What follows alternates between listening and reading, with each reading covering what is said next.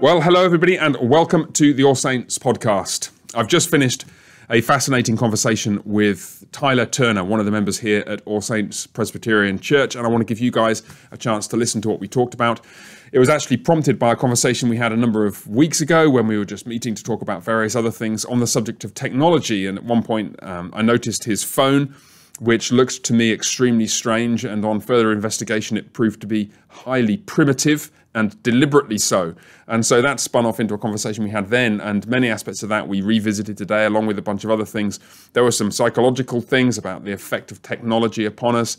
There were some theological issues about the relationship between our uh, vocation as people created in the image of God, the creation mandate, the doctrine of sin, the doctrine of temptation our embodiment as physical creatures, a whole bunch of other practical things uh, from procrastination to distraction to productivity to family life and everything else. I'll let you just jump in and listen to the rest of that conversation. Uh, a couple of quick notes. I made reference to a book by Neil Postman called Amusing Ourselves to Death. And also another book by him called Technopoly. Those are two books I'll recommend, and I'll include references to them in the show notes, which you'll be able to uh, look at on the podcast or on the video version of this podcast. Uh, also, I gave a talk in which I made further reference to the beginning of Amusing Ourselves to Death, and I'll find that talk for you and also link to that so you'll be able to take a, a look at that, Lord willing. So, uh, hopefully, those resources will be helpful to you. Um, and without further ado, then I give you my conversation with Tyler Turner on the subject of technology and its perils and pitfalls. God bless, and bye for now. So, I'm here with Mr. Tyler Turner, member of the congregation here at All Saints in Fort Worth. And we were talking, well, this conversation arose a few months ago because we met up, we had lunch, we were talking about um, usual pastoral things, just catching up, uh, talking about our families and talking about um, uh, things that have been happening in our lives. And uh, at one point, Tyler, you took out your mobile phone. and I, I, I, wonder if you could just describe your mobile phone for the benefit of people listening to this. Just give us a quick description? Sure, yeah. My students have described it as the cassette tape. Um, so it gives you an idea of the general uh, appearance. Uh, basic, it's it's called a light phone, L-I-G-H-T. Um, this is the second iteration of this phone, and basically it's meant to be kind of a bare bones still has 4G access, but mostly um, phone calls, text messages, um, 4G Wi Fi hotspot availability, also um, pro- with progressive operating system updates, uh, podcast streaming.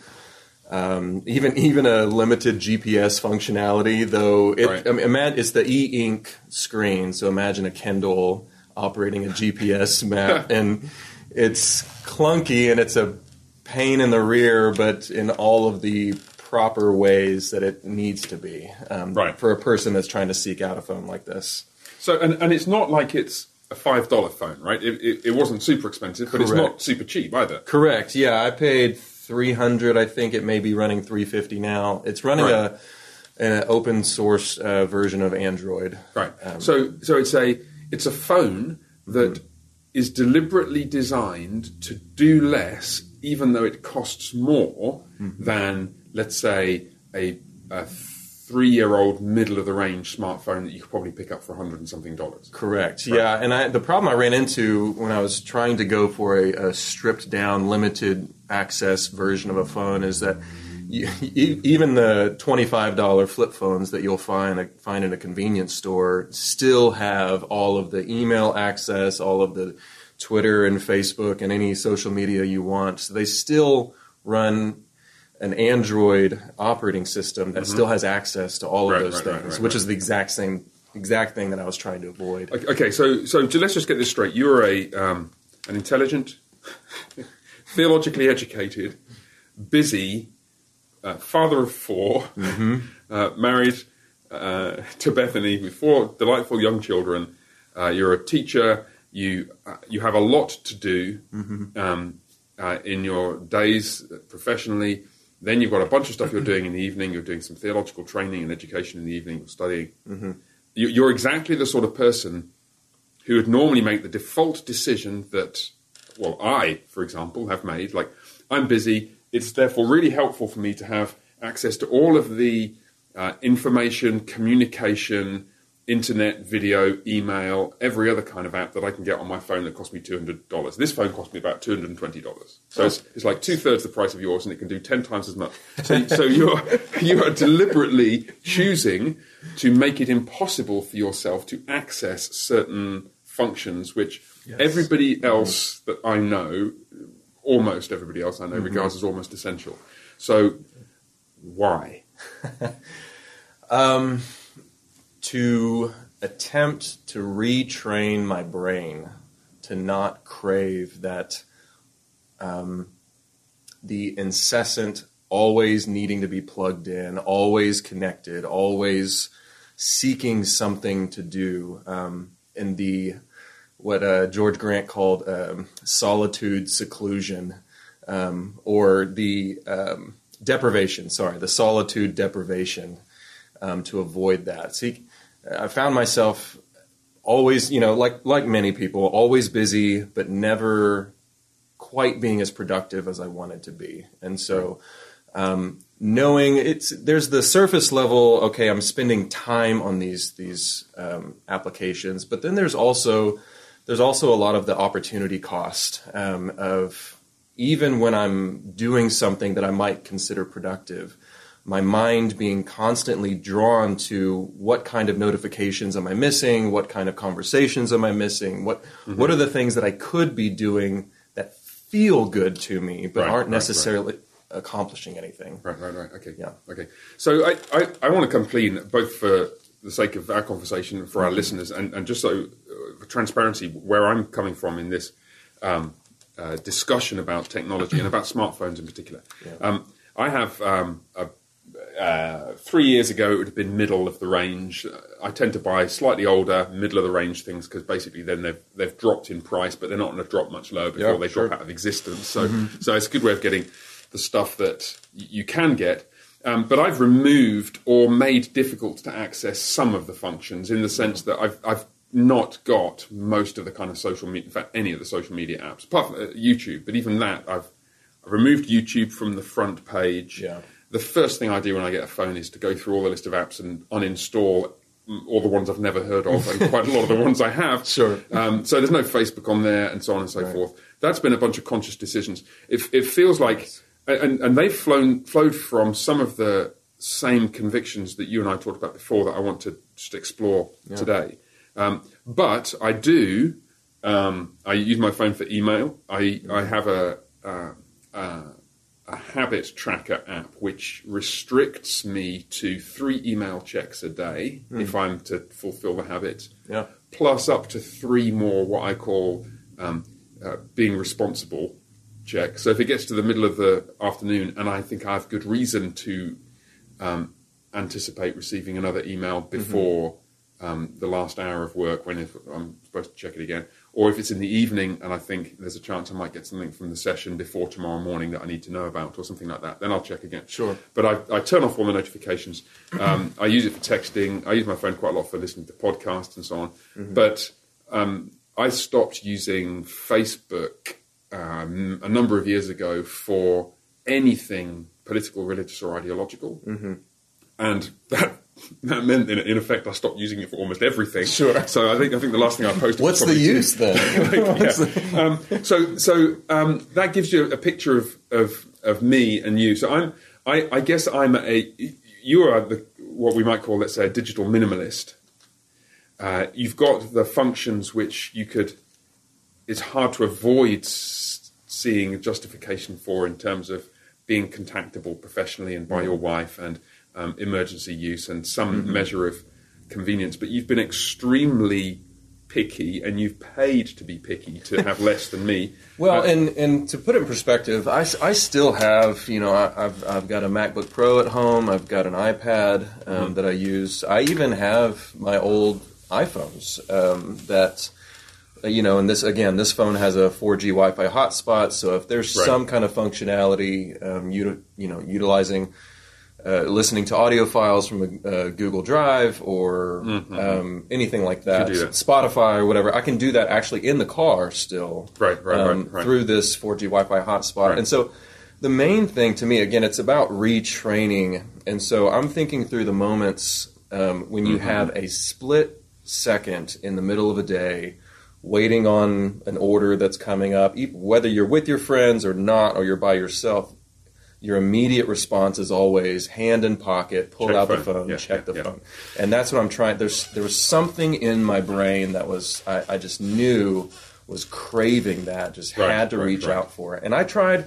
I tried removing the apps, um, and and what happened was I, there's still browsers, you know, and it was like, well, I, the browsers are useful, and so I don't want to get, I don't want to delete those, and Because so the browser is the platform for everything. Exactly. And so then, well, you know, how hard is it to go to Facebook or Instagram or anything else on those browsers? And so it was only very minor delayed gratification there. And so this is removing all of those things one step. If I want Right, to check right. any of those things, I'm able to, but it takes it out of the immediacy Right. of needing to do it. So I, I should um, come clean then. You, listeners have got a sense, certainly a sense of where you're coming from. Mm-hmm. I guess I'm reasonably normal, um, perhaps a little more restrictive than normal. I've, I've, Sure. I'd been finding that email in particular um, was drawing my attention at times when I didn't want it. Mm-hmm. Um, but what, my aim in having this conversation Mm-hmm. is to do a couple of things. First, it's to explore some of the rationale Mm-hmm. underlying the kind of uh, decisions that you've made, which are, I think, extreme, not in a negative sense, but Sure. on one end of a spectrum Sure.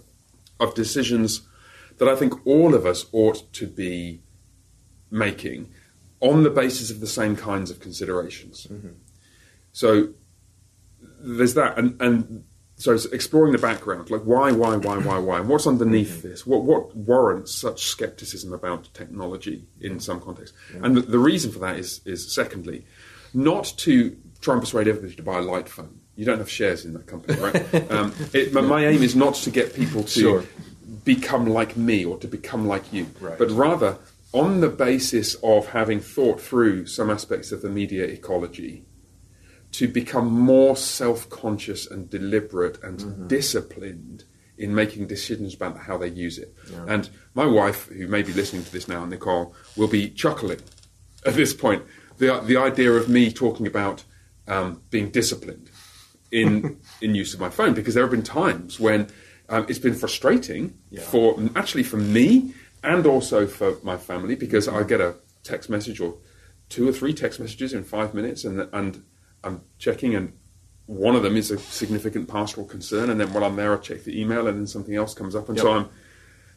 I'm and the the balance is to work out okay how do you make it possible for yourself to respond to things that you ought to be able to respond to Right. and not to be distracted by things you ought not to be Right. so that you can fulfill and this is a key thing so that you can fulfill other obligations Right. relational obligations Right. Mm-hmm. work obligations and so on and I, I, I said to, to nicole again quite recently i think it might be the case that this is not something that we get sorted out at a particular point in our lives and then we let it run. Sure. I think this is likely just a battle we're stuck with. Mm-hmm. Just like we all have cars, or most of us have cars, and therefore driving responsibly is something you have to do whenever you get in the car. Mm-hmm. You've got to constantly be watching yourself that you're not getting frustrated, not driving too fast, etc. Mm-hmm. So also, we've all got technology, and what we constantly need to be doing is looking at ourselves, saying, "Am I doing this the right way?" But what goes into that is certain well thought through convictions about the wisdom of safe driving, Right. or the wisdom of technology use. So, can we can we jump into some of the um, underlying ideological or theological or personal factors Yeah. that drove this decision? You've already hinted at some of them. Where would you, how would you sketch the the why question, the answer to the why question, if you had to take it to the next level deeper?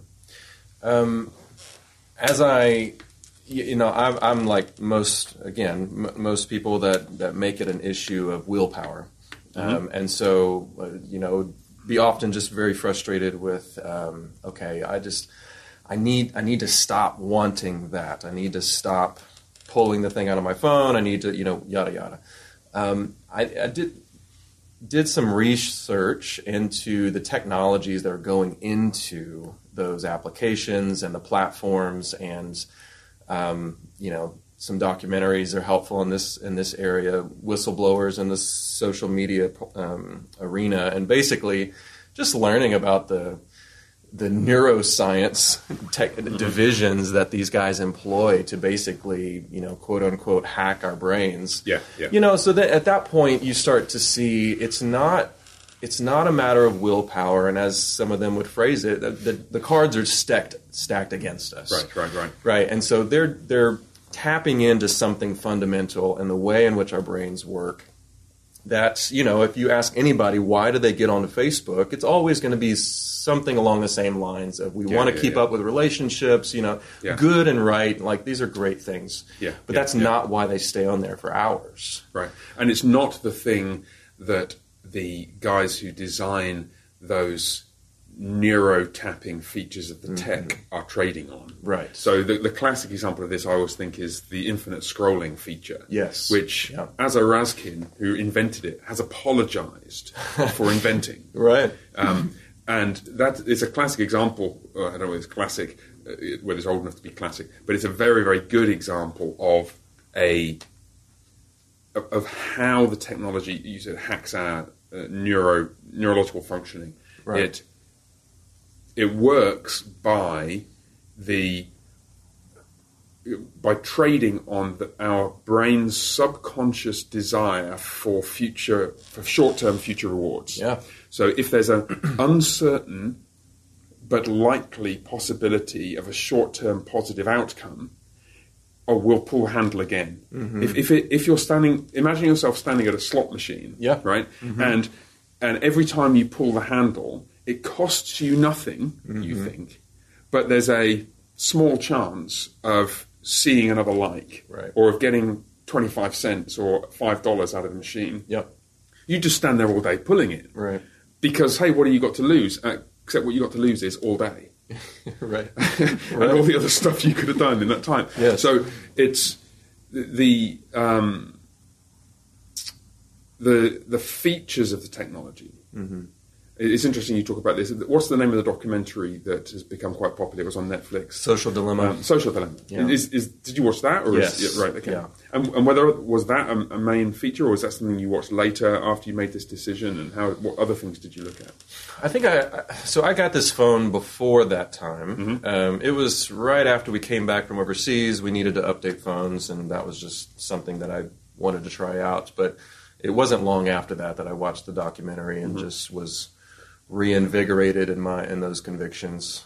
Um, but yeah, I mean, saw that as well. And I mean, I periodically like to get the Wall Street Journal, and so articles coming out talking about um, the connection between um, basically the dopamine that these play, that these things are, are are playing on and and depression Right, and so it you know ever increasing depression rates and thinking about okay well if it's the slot machine if it's the possibility the dopamine rush of there's something exciting that's coming down the line Mm-hmm, um, what's what's the depression side of that Right. um, and it's the lack of reward Yes. that comes right Yeah. um, along with the realization and this is kind of where we get into the theology of things of of what we're actually not accomplishing Right. the realization of Yeah. of all of the time that was wasted that will never get back again Yes, yes, yes. um, that was traded for what Yeah. and nothing to show for it because this is this is, strikes me as interesting. I've seen some research suggesting that th- there's a connection between social media use and depression because what's happening is your brain is being trained to need that kind of easy stimulation in order to release the happy hormone mm. dopamine. And, and uh, dopamine is almost like five years ago nobody knew what dopamine was. Now everybody knows that dopamine is the hormone your brain releases, mm-hmm. which gives a, a a short sensation of pleasure. Yeah. It's released when you um, eat uh, sh- sugary candy. It's released when you pull the handle on a slot machine. Mm-hmm. It's released when you swipe, swipe, swipe. It's released when you take cocaine or drink alcohol. Mm-hmm. All these things are addictive because they generate a dopamine rush. Um, so there's the neuroscientific uh, explanation, which is that we're just not wired to resist that. And if it's like giving a, a two-year-old kid loads of candy and then saying, "Right now, I've got some wholemeal bread with peanut butter. Eat this." And they're like, "No, I don't want to eat that because this this gives me the the rush." So so Right. what happens is normal life no longer stimulates us. Right. Um, and so that's a neuroscience explanation. But your point, I think, goes deeper theologically because it mm-hmm. connects to the cultural mandate and it suggests what we're built for is meaningful accomplishment. And mm-hmm. it's not what social media is doing, it's what we're not doing Right. that's really harming us. Right. So why are people depressed? Well, it's because it's because they didn't do anything mm-hmm. yesterday. Right. You get to Monday morning and somebody says, "Hey, what'd you do at the weekend?" and they're embarrassed, or maybe they're just past embarrassed because mm-hmm. what they did was well, what they do every weekend, which is like, well, I got up late and just I didn't get out of bed till three hours later until my battery went flat and I needed to walk across the room to find a charger. You know, Right. so what a depressing kind of existence, Right. And they're not getting the return on their investment. Right, because it actually for. isn't satisfying. Right. Yeah, yeah, yeah. Right. Well, and it it also gets into you know the in terms of productivity, like your example, we're always going to choose the easier route um, when when given the option, Well- right? We, un, unless we have sufficient reserves of willpower to resist the easy route. Right. Right. So, and, Um, and that the reserves of willpower point is um, that's um, Cal Newport, deep work, I think. Okay. Who makes the point that Yeah. we, we have a certain maybe, maybe it's another another book. It might be another one of his books. We have finite reserves Mm-hmm. of the cognitive capacity to take the hard path, Yeah. and you notice it in the gym actually. If you if you go to the gym late in the day when you're a bit tired anyway, and you get to the fourth set and you think I said yesterday I was going to do one more, yeah, no, no. You're like and and you just run out of the Right. to push through the pain barrier. Right. So yes, right back where you were. So Uh-huh. um, we have finite capacity to Mm-hmm. resist the temptation to take the easy route. Yes, yeah, and this is the you know the procrastination syndrome as well, Right, right? right. Is this this is the um, when I've got a lot of a lot of things I want to do. Um, procrastination 101 is is organizing all the things that I need to do Yeah, to where I don't yeah. actually accomplish any of those things, but I feel like I'm getting something done Right, right. at the same time. Which you know that's that's a lot of when we talk about these technologies as tools, um, they're just incredible tools. So as Right, if right. as tools, as machines, they are pheno- just incredible in what they can accomplish. Um, however, Hmm. it's how they're being used, and this is this is something that you know one of the guys on Social Dilemma says is there's only two industries in the world that refers to their customers as users.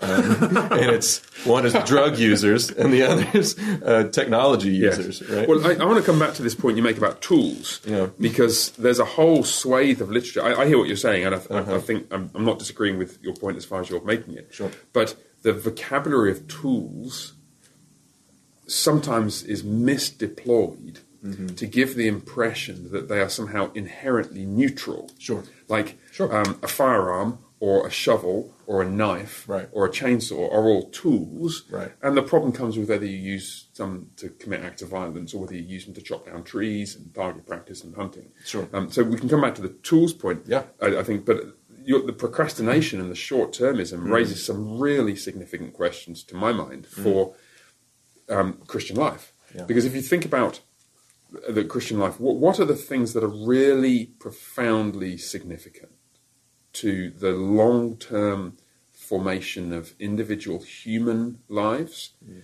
and family life and church life? They're things like getting married mm-hmm. and raising children and a family and education, whether your own education mm-hmm. or your children's education. Then their vocation, whether the, the vocation might be raising children or it might be like you're a teacher or I'm a pastor or somebody else is an insurance salesman or a real estate agent or they're, they're these things. And and all of those callings all, all of those activities whether our callings um, the task of raising our kids um, developing healthy relationships um, not to mention just basic christian disciplines of what goes into becoming a man or a woman who is wise in the scriptures and who knows the Lord. These are things that cannot be accomplished quickly. Correct. They No. are the they're right at one end of a spectrum of delayed gratification. Mm-hmm. Like anybody who failed the marshmallow test or the Oreo test is never going to have such a good chance of accomplishing these things well as somebody who passed it. Right. And so my concern is that you have this twofold negative impact of a lot of these technologies on mothers and fathers and mm-hmm. husbands and wives and workers and school children and all of us in our different vocations. Both that it distracts us from actually doing those things. Mm-hmm. Mum is on Facebook again, and I wanted some help with my poetry homework Right.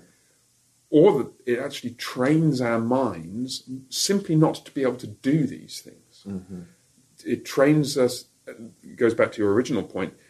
It's as though you were you were noticing something about your own cognitive capacity mm-hmm. that was diminishing in your what late twenties, early thirties, Right. way too early. um, and maybe this is you know I, I want I want my concentration back. I want my focus back. Yeah. Which means I need to stamp on whatever is depriving me of that focus. Mm-hmm. Yeah.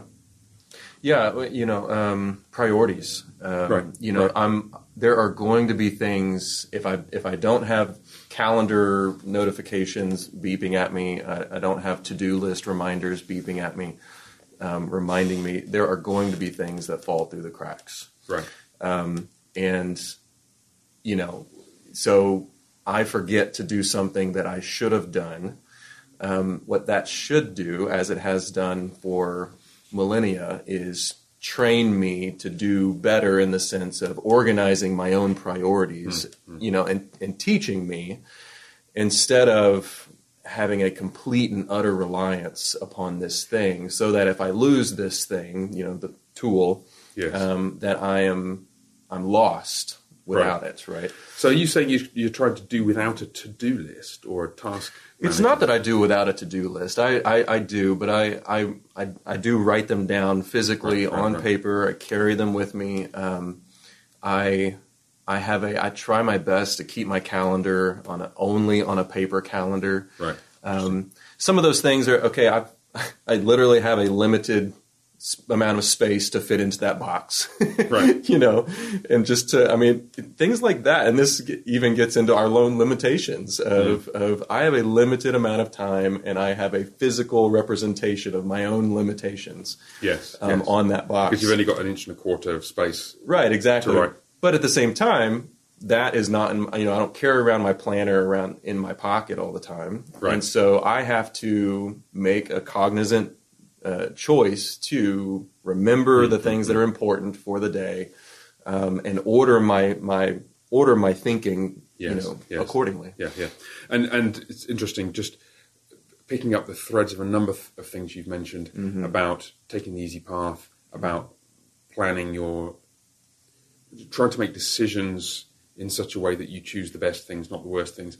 It keys directly into the biblical doctrine of sin, which w- one of the one of the features of, of human of Christian psychology is that in our best moments, all of us would be able to resist nearly every or every temptation we've ever succumbed to. Mm-hmm. If if you got a man at his finest, most strong, clear-headed, focused, committed moment, he would never do any of the sins at that moment Right. That he's done for the previous week or the previous year or the previous 10 years. Mm-hmm. So, why is it that we prey? No, that's the wrong way of putting it. Why is it that we plunge into Yeah. such foolish temptations? The answer is we're not always right minded. We're not always thinking straight. We're not always evaluating our priorities appropriately. We don't, we don't always prize Jesus and Right. faithfulness to Him as we should. Yeah. So, how do you protect yourself from that? Well, the way you do it is by making decisions when you're clear headed that restrict the abuse of your freedom mm-hmm. when you're not. So, the classic one of this would be for like a, a- anybody who's got some kind of internet filter, mm-hmm. which is now we're on the actual content of this, of the, the platform presents you with. Right. Um, if, if you've not got something to stop you viewing pornography, mm-hmm. or at least to notify your wife or your husband or your pastor or your best friend or your mother-in-law if you do view it, mm-hmm. then you are betting on your ability always to be able to resist the temptation to, to do something destructive, Right. even when you're weakest, mm-hmm. which is a really stupid bet. Like, I, I bet anybody could resist such temptations, you know, at 10 o'clock on a Sunday morning as they're walking out the door to get to church. Like, I bet you could. I, I somehow doubt that. You, that we've all got the same reserves of willpower and godliness 10, mm-hmm. 10 or 12 hours previously. Right. So what do you do? Well, you make a decision on Sunday morning that restricts your freedom Right. the next Saturday night. Right. And the interesting point about that is that's actually not restricting your freedom in the proper sense. Mm-hmm. Because what, if we think about freedom theologically, mm-hmm. freedom, it's freedom from what? Sometimes we think about freedom as though it's only the lack of constraint from external forces. Right. Um, and that's often how um, people like myself, as a libertarian minded Christian, will think of it. Yeah. Freedom means that the state isn't interfering with me, basically. Right. Well, that's not the only way of, the, only important way of viewing freedom. If I give somebody a bowl of live cockroaches and they choose to eat them, they're not free because there's something there's something internal to them that is constraining them to do something really dis- destructive and ruinous. Yeah. So actually, what what what would make a man free is to be liberated to make good choices. Right. Um, in other words, and this is Ken Myers' way of putting it, you can't have a notion of freedom which is abstracted from a notion of the good. Right. You have to have a, a framework for moral evaluation. And then what counts as freedom is the capacity to choose that which is good. Right. Not even God has liberty of indifference. God can't sin.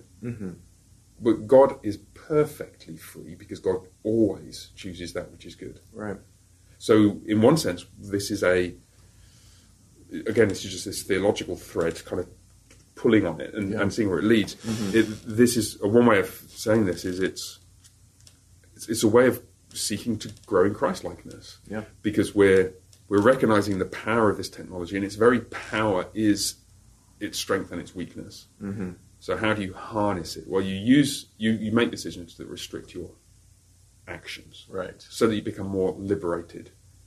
Yes. Yeah, and I again it, it when you fall into a situation where other people are pulling the strings, have more influence over your decisions than you do yourself. Right, right, right. Right. You're setting yourself up for failure. Yeah, yeah. Especially when you're talking about for-profit companies. Yeah, yeah. I mean, they, they, it, it, this this actually takes us in the direction that I wanted to talk about the, the whole non-neutrality of tools point. Right. Um, I recently gave a talk. Um, which I, I'll try and, if I remember, I'll link it in um, uh, the show notes. Um, hold on, I'm making a note of that. Um, that where I, I quoted the, the introductory page to Neil Postman's book, Amusing Ourselves to Death, which Right. I, I'm coming to regard as one of the most important pieces of prose ever written about the state of our modern world. And he contrasts the. He wrote it in 1985, which is really scary Oh wow. right? Um, uh, and he was writing, of course, in the wake of 1984, which is George Orwell's novel written in course. 1948. And he talks about two dystopian visions of the future. Mm-hmm. Um, one in which it was impossible to read a book because they'd all been taken away. 1984. This is George Orwell's vision of external oppression. Mm-hmm. Right. He said there's another slightly older, less well-known dystopian vision, uh, Brave New World Brave New by World. Huxley Right. in which it wasn't the case that there were no books. It's just they, nobody would ever read a book because nobody wanted to. Right. And what's happened, what Huxley depicts is a world in which there are these devices to stimulate happy feelings. Um, the um, what is it? The feelies, the orgy porgy, and the centrifugal bumble puppy. I think they're the, the devices, and you can read the book. It's an amazing book. It's, uh, probably lots of high school students have read it. Yeah. But it just struck me like a, a brick between the eyes that what's happened with this social media stuff is they're just so much smarter than that. It's not that you get hooked up to a machine that makes you feel good. You buy the machine. Right. you, you, you voluntarily do stuff with the screen that injects the chemicals into the receptors in your brain that That's make you feel right. happy. Mm-hmm. And what happens is the companies who you bought the machine off and other tech companies make money from advertising revenue. I mean, you, you are you are literally becoming like one of the batteries in the Matrix. Uh-huh, yeah. it's just really Right. unnerving. Now Huxley didn't have, you know, he wasn't the futurist who'd be able to predict how his devices would come to pass, but Right. the structure is exactly there. Now, that reading that that um, and I'll try and like I said remember to link the talk that I gave about it, but just get the book, uh, amusing ourselves to death. Um, one of the features of Postman's work is he's writing in a in a tradition of a number of writers, um, Marshall McLuhan, Neil Postman, Ken Myers more recently, who who point out in um, McLuhan's words, the medium is the message. Well, yeah, he wrote a book called "The Medium is the Massage," which is like a play on words, Yeah. um, a pun to, to make the point even more forcefully. But the the point is, the technology is not neutral. Like it's not a tool. It's not a tool Yeah. because every medium inevitably influences what can be done in and through it. The transition from oral to written to print to mass print mm-hmm. to video to t- TV mm-hmm. or radio first, then TV, and now to internet, then to internet audio, and now internet video, and now wherever we are with these kind of shorts and all those kinds of things, little videos. Mm-hmm. They, the the the form that the communication takes place in mm-hmm. saturates what can be done. Right. And it, in, in one sense, it strikes me that you, your decision, and in fact, the decisions that to a lesser extent I've made and other people have made, or I want to encourage everybody to make, Right. What we're trying to say is please try and consider how the medium is contaminating the message, Yeah. how the, the, the content is shaped by the, the lens through which you view it. Absolutely. Um, yeah, I think about this um, when you see a concert or a or a football match or something. Then you've got how, you know thousands of people with their phones up in the air, Right. and they're taking this multi-dimensional experience and they're cramming it into two dimensions. Yes. You know, Five inch screen. Right. Yeah. Exactly. And whether or not they're, you know, just holding it in the air and they've got their eyes on what's actually going on or not, or trying to save that experience, mm. they're they're they're valuing and or rather devaluing all of the other elements of that experience and cramming it into a two-dimensional experience. So, um, an example, like like I said, this this phone um, has been a pain in the rear in some ways. So, for example, uh, there's no autocorrect. and and initially, uh, and it, this has gotten better, but initially there was no voice transcription and there was no moving the cursor either. And so, and it's like if, if you've tried to type You on a delete. on a Kindle Paperwhite, I mean, and it's super slow. Um, and so I'd get to the end of a sentence, realize that a word was misspelled at the beginning of the sentence, and I just, I, it, it really pains me to send that message with a misspelled word. And so I would just say, forget it. I'm not, I would just close it out completely. And if it was important enough, I would make the phone call. And so, and I realized that's, that's wonderful. Like that's exactly what I should, you know. Right, that's what you of- bought it for. That's exactly. Instead of cramming this relational exchange, whatever it is, into bits of not bytes, bits of information. Yes. Um, that at the very least, at least with a voice, you've got tone and intonation and recognition and emotion that's being communicated, and so you're expanding those things to what the experience was always meant to be. Right. And we've all had this experience, haven't we? When you send an email and asking a question and somebody emails back, yes. And you think, oh my goodness.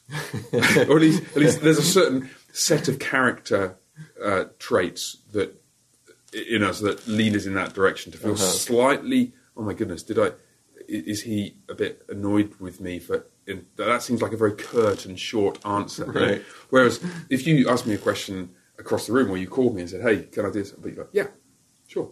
And and you wouldn't think. so, so that, that's a prosaic sense in which the medium shapes the message, but there are there are deeper senses. I mean, I, I think probably it's not it's beyond me to um, to weave that tapestry. Hmm. I mean, Postman does it brilliantly in his book hmm. Technopoly as well. Hmm.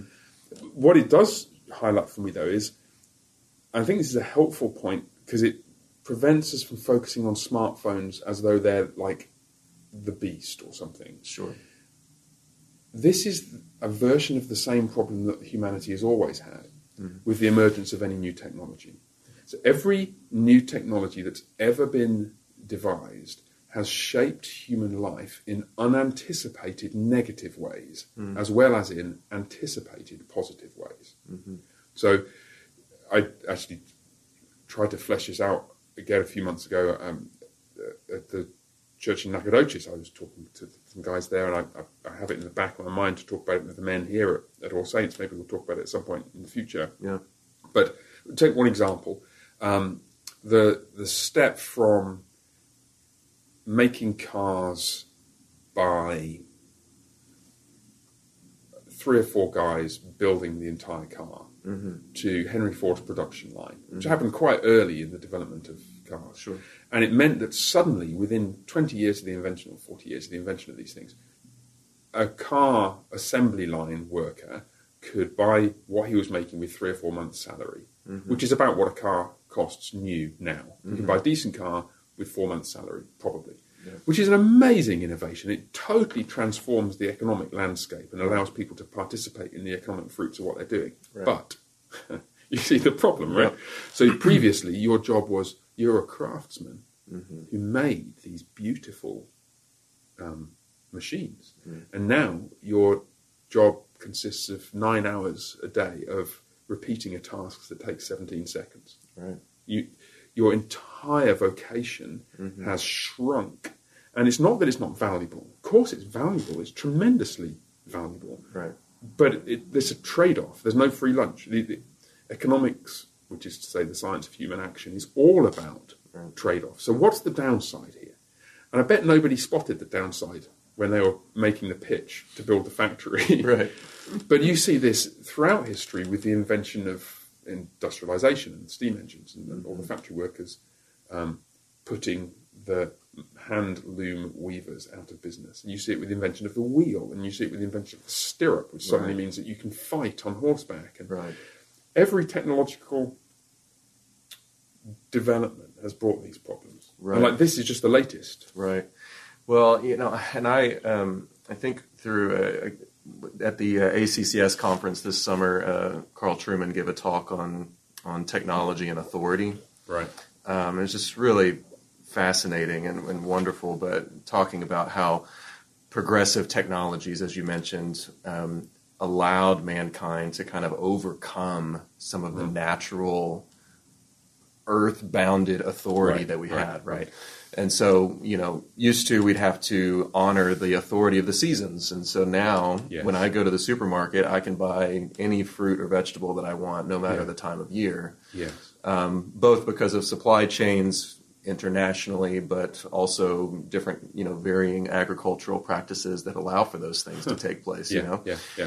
and so you know that, to your point, that that reshapes our orientation towards the world. Um, so you're right; it does it does allow us to accomplish some things that we weren't able to, but it, but it fundamentally uh, changes the way that we see the world. You know, Right, you, you right, made the right. point that me being able to be in Europe in 12 hours Yes. Yes. isn't just a matter of speed, Yeah.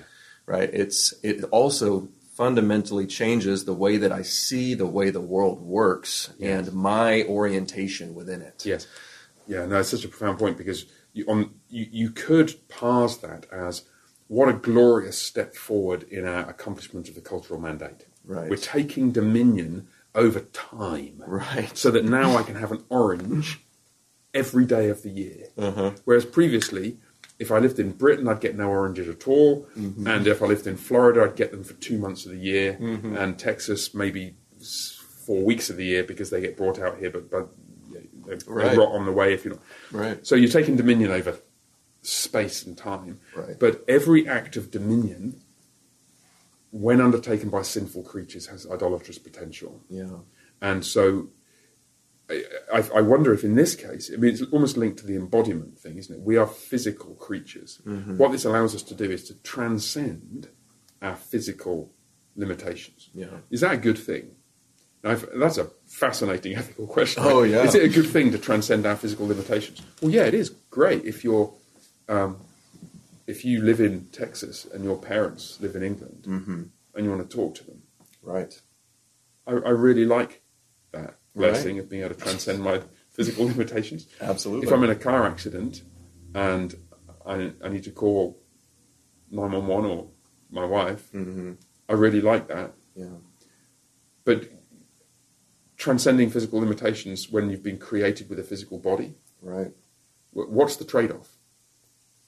You know, Right. th- There's a Right. there's going to be one. Um, I look. Yeah, I often say that you know these smartphones allow us to kind of take for our own some godlike qualities of Correct. Yes. right, Which um, is exactly what Genesis 1, 26, 28 is Right. about. It's becoming like God. right. Yeah, some omnipotence of being able to say, "I want this thing, order it on Amazon, and I've got it tomorrow morning if I you know pay the pay the price," um, or omniscience of being able to know everything. At all times, and if Yeah. I don't know it in my brain, I can, you know, what's the name of that one guy in that one movie? I can look it up, and there it is. Um, and so, you know, you're right. Good and bad in the sense of, okay, um, the bad, obviously, like I don't need, go back to Facebook, I don't need to know every detail of every person's life that I've ever met. You know, that's, Yeah. that's not a level of knowledge that we need to have. Right. Right. And craving that does seem idolatrous at some level. right. Right. Right. Um, however, understanding how our churches are behaving, like the decisions that we make here and Mm-hmm. how those decisions impact other places in the world, yes. now that's a level of knowledge that I could see being useful. Yes. Yes. You know, um, being able to send aid to churches in Ukraine, Yes, you know, yes. those kinds of things. Yes, and I think the challenge is there to be brutally honest with ourselves mm-hmm. about what the trade-offs actually are, because mm-hmm. that whenever you have a, a situation in which there are trade-offs to be made in, in working out what's the wise because mm-hmm. the the grave temptation is to overlook or try to sideline or ignore the downsides by just talking about the upsides. So somebody who's listened to this, you know, we're 45 minutes in, and and if they've got this far and they're, they're a bit frustrated because I think we're a bit down on technology. I'm not down on technology, Right. but the, the temptation is for somebody to push back simply by pointing out, but look at all the good things it enables you to do. And I'm not wanting to say to them, those things don't exist. Mm-hmm. What I'm wanting to say is, that's one half of the argument. Please, will you honestly, honestly articulate the other side of the argument? What's it actually costing you? And if the history of technology is anything to go by, it is costing you far more than you might realize. Mm-hmm. That's the crucial lesson of the, the kind of curve of technological development over time. Technological advances always, always bring with them unanticipated negative side effects that threaten to shatter some people's experience of them. Right. And this is so pervasive that it's likely to have that effect. Yeah, well, I'm. I'm also convinced. You know, again, I, I mentioned the just incredible spike in depression and anxiety rates and, Mm. Yeah, and whatnot, and I'm just con- absolutely convinced that this materialistic worldview is being kind of that's this is one of the main avenues in which is being pumped Right, into right, our right, ear, right, right. and um, and so it you know focusing on what's you know the purpose of life and making everything about us and about our individual stories and those kinds of Yes. like it's it's focusing our our worldview um, literally in in ways in which are taking our eyes off of off, off of the ball Yes. um, as it were biblically yeah. um, and so I, I just I, I I can't quite articulate it as well as I would as I would like to, but I'm absolutely convinced. And obviously, with teenagers, it's just been incredibly destructive. Yeah. Um, yeah, and so that's that would be a big a big warning sign for me yeah, yeah, yeah. as well. Um, I, I, I want to finish because I'm conscious you need to go. We've got both got stuff we need to do. Yeah. Um, I want to just raise one more subject, which might seem highly tangential, but actually is profoundly related to this topic, I think. Um, and it's a topic of woodwork, woodcraft. Okay. You are a uh, highly skilled carpenter and woodworker.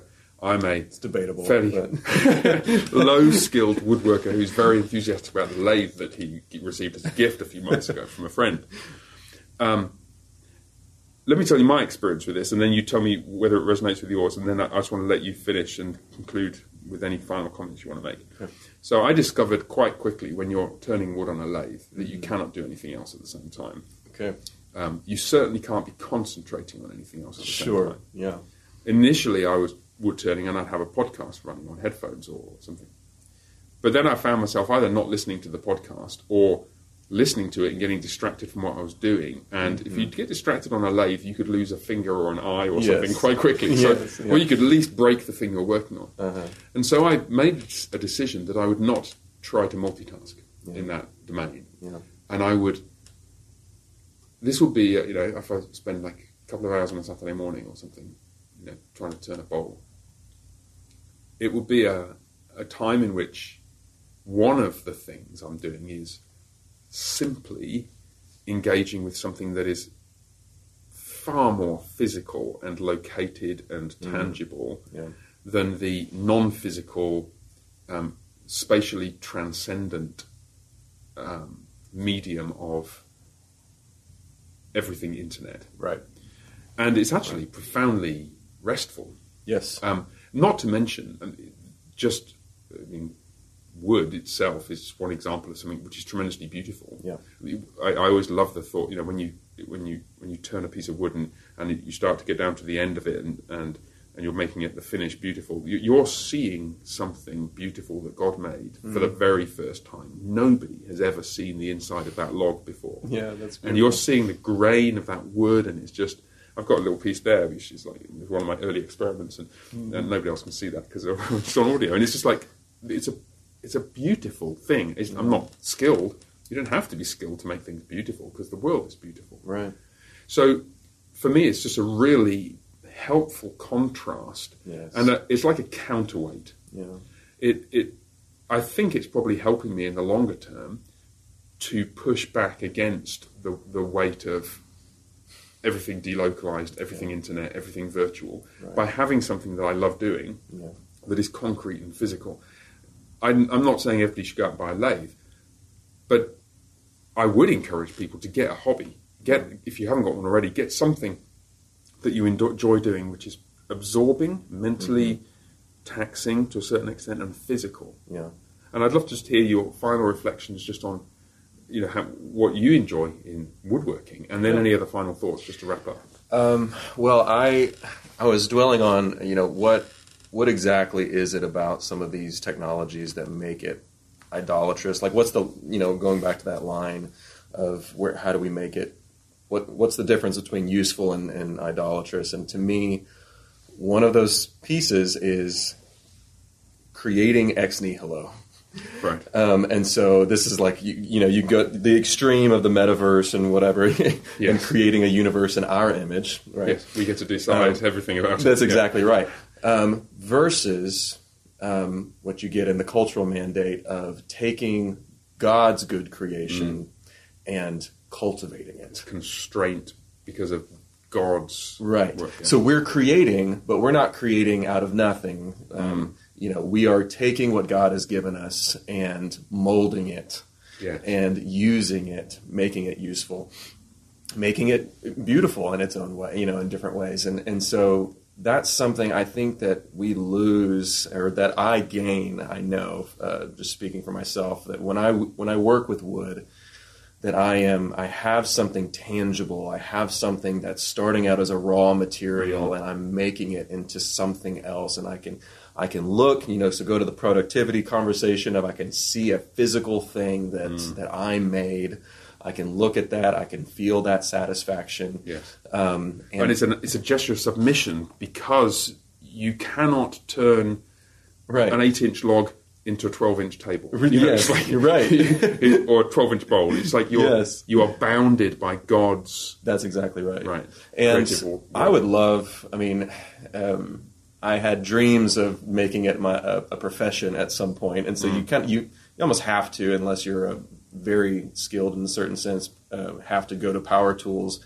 But I would love, you know, if it's just a hobby, to really just stay in kind of the hand tools.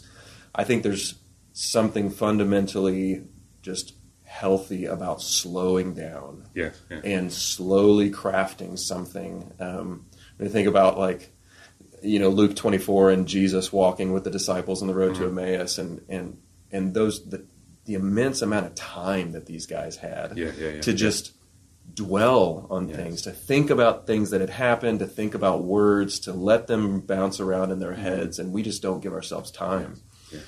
Yes. Um, and so slowing down, that's, you know, again, com- combining that with the woodworking, slowing down, letting those things just mellow in my mind as I'm crafting. And that's just, uh, it's a beautiful experience. You can't rush it. Right. Yeah. The glue has to dry. Sure. Yeah. Yeah, exactly. All right. Any final thoughts to leave us with? I would just say, you know, obviously we, we haven't come up with any silver bullets. Um, Right. This, even this, you know, going back to where we started, the phone's not a, it's not a final solution for me. You know, I, I, I'm trying to retrain my brain because I'm recognizing that my brain has been trained by Right, others, right, right. And so I'm, I'm trying to take back possession of what God has given me in that sense, um, and using it uh, for His glory, um, not for others and making money off of my time. Um, and so, you know, it's just about being cognizant of those things and, and understanding the ways in which these things are being used for others' gain Mm. um, and not for the gain of Christ. Mm. So, That's helpful. Yeah. All right. Thank you very much. yeah, thank you. Appreciate your time, and um, the Lord bless you, listeners. Um, if they wanted to talk to you more about this, they can come find you at church, right? Absolutely. And if you don't come to All Saints, well, there are uh, some other resources that uh, we've talked about in this uh, discussion, and I will endeavour to ensure that links to them get posted somewhere. If you can't find them, then get in touch with somebody here at All Saints, and we'll try and help you out with that. Thank you.